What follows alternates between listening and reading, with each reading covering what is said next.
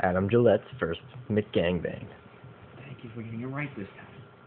Well, sorry you got a Really text in the middle of it. that? Yeah, just like that. So how the hell do I eat that?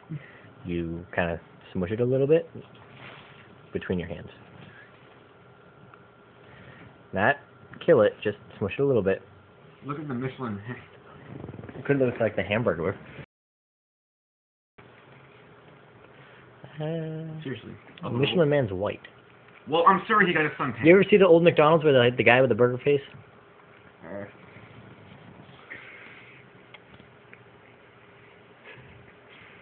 Heaven just went off in his head.